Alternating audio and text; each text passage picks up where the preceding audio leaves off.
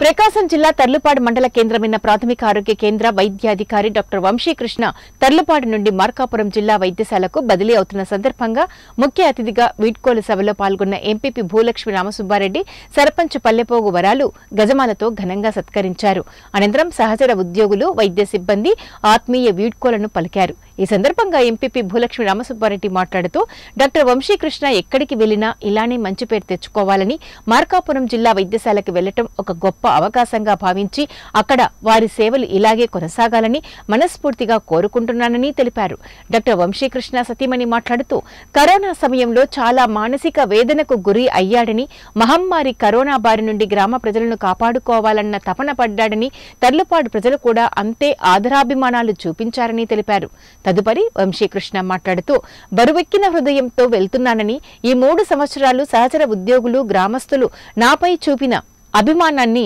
ఎప్పటికీ మరచిపోలేనని తర్లుపాడి గ్రామ ప్రజలకి ఎప్పుడూ ఎటువంటి సమస్య వచ్చినా చేతనైన సహాయం చేస్తానని నా వృత్తినే దైవంగా భావించి ప్రజలకు వైద్యం చేస్తానని ఈ సందర్భంగా తెలియజేశారు